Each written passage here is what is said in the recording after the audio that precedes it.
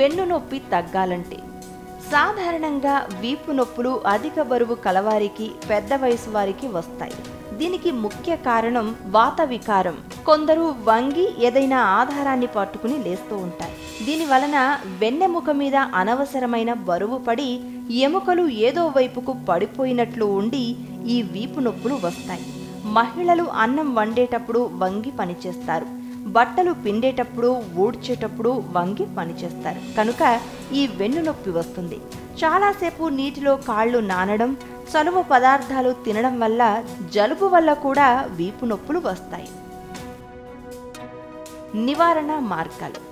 జలుబుతో వచ్చిన వెన్ను నొప్పికి సొంటి పొడి బెల్లం నెయ్యి కలిపిన మిశ్రమాన్ని సేవించాలి. తరువాత పాలు తాగాలి. తరచుగా ఇలా చేస్తే వెన్ను నొప్పి తగ్గుతుంది. మెంతి కూర లేదా మెంతి విత్తనాల చూర్ణం కూడా వెన్ను నొప్పిని తగ్గించడానికి సహాయపడుతుంది. గసగసాలు కండ చక్కెర రెండింటిని బాగా నూరి ఉదయం సాయంత్రం ఒక చెంచా పొడిని ఆవు పాలతో కలిపి తీసుకుంటే మంచి ఫలితాన్ని పొందవచ్చు. రెండు కప్పుల నీటిలో ఐదు తులసి ఆకులు ఒక యాలక్కాయ వేసి మరిగించి వడకట్టి అది గోరువెచ్చగా అయ్యాక తేనెతో కలిపి తీసుకున్నా మంచి ఫలితాలను పొందవచ్చు.